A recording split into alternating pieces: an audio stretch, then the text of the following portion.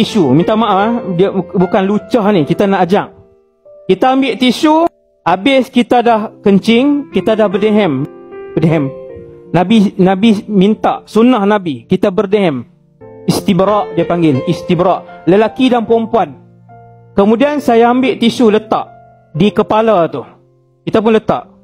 Kali tisu letak, kali tisu. Kemudian saya tunggu beberapa saat.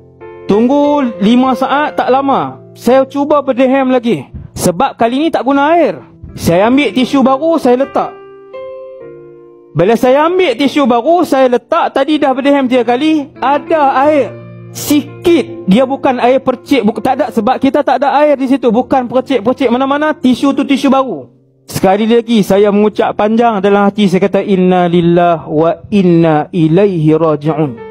Bila dah nampak kali keempat tu, nampak lagi saya berhenti saat 5-6 saat, saya ambil tisu baru, tisu baru, saya letak, saya angkat, ada sikit. Saya buat kali kelima, kali keenam, kali ketujuh saya ambil, baru saya letak dan tak ada. Baru betul-betul kering.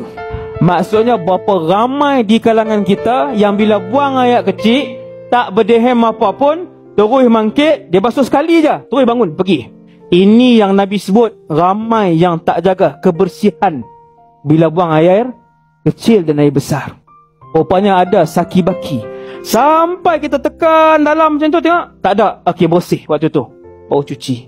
Baru mangkit. Baru bangun.